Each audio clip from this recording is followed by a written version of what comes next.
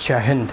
आइए हम जो है पी बाई क्यू के तौर पे P S I R political science और इंटरनेशनल रिलेशन के क्वेश्चन को समझने का प्रयास करेंगे। बहुत ही ईजी क्वेश्चन है।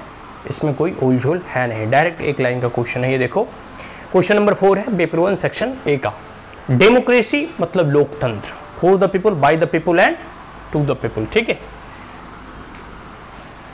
ये जो है अब्राहम लिंकन के द्वारा लोकतंत्र का डेफिनेशन है। खैर, सबसे बड़ी बात है कि डेमो और क्राइटेरिया के अगर शब्द को समझोगे तो है rule by the people simple definition याद रखना। तो democracy is a theory of society as well as a theory of government discuss discuss करने हैं किस चीज़ को? कि किस प्रकार से लोकतंत्र जो है, समाज की एक थ्योरी है, और तो और समाज की थ्योरी होने के साथ साथ यह जो है सरकार की भी एक थ्योरी है। ठीक है? तो कैसे लोकतंत्र समाज की एक थ्योरी है और कैसे लोकतंत्र सरकार की एक थ्योरी है? ठीक है?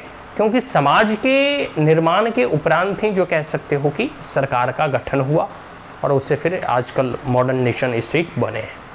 तो किस प्रकार से जब हम लोकतंत्र की बात करते हैं तो वह सामाजिक मूल्य और सामाजिक परिप्रेक्ष्य में वह प्रासंगिक होता है।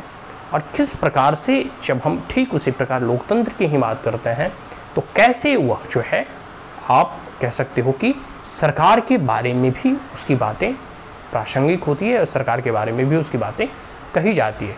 तो लोकतंत्र का मतलब सामाजिक तंत्र, क्योंकि अल्टीमेट जो है लोगों से मिलकर ही समाज और सिविल सोसाइटी का निर्माण होता है और एक अच्छे और स्वस्थ लोकतंत्र के लिए एक जो है स्ट्रॉन्ग सिविल सोसाइटी का भी होना ज़रूरी है।